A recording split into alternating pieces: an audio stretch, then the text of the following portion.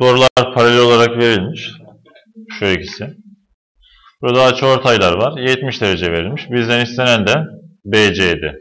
BCD şu tepedeki açı isteniyor. Şu açı. Buraya x diyelim. Şimdi şunlara da isim verelim. Açıortay olarak verilmişler. Şunlara A A diyelim. Şunlara da B B diyelim.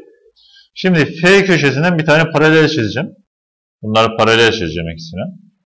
Şöyle çiziyorum.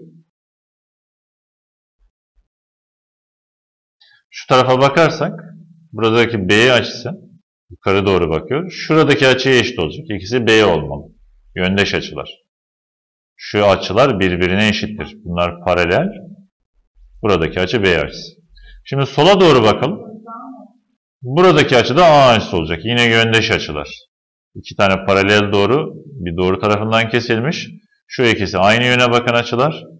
Burası A açısı olacak. O halde biz bu üçlüyü toplayıp 180 dereceye eşitleyebiliriz. Yani A artı 70 artı B eşittir. 180 derece. Buradaki 70'i karşıya atıp 180'den çıkarırız.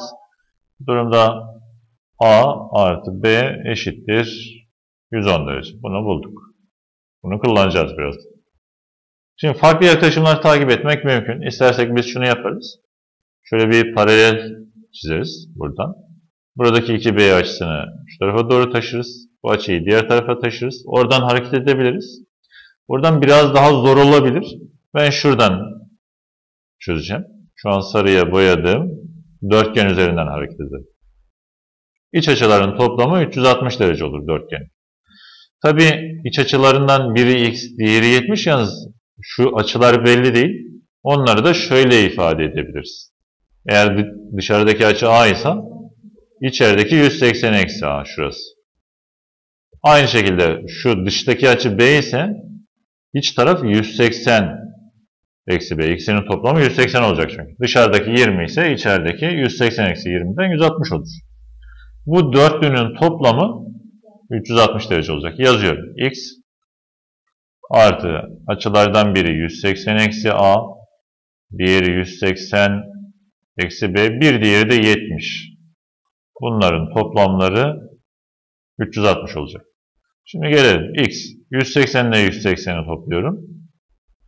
360. Şunlar eksi a eksi b. Şöyle eksi parantezini alsak bunları. a artı b olurlar. Artı 70 eşittir. 360. Şimdi şunu yapabiliriz. 360'ı karşıya yollayabiliriz. 360'tan çıkınca 0 kalacak. Yani şu ikisi birbirini götürüyor başka bir deyişle. A artı B'nin değerini de biliyoruz. 110. Bunun yerine de 110'u yazarız. Geriye şunlar kalacak. X 360 gitmişti. Eksi 110 artı 70. Öbür tarafta 0 kaldı. 360'tan 360'ı çıkardık 0 kaldı. Şurası x eksi 40 eşittir 0. Şimdi 40'ı karşıya atacağız. Şöyle. x eşittir 40 olur. Eksi 40 karşıya gidince artı 40 olacak.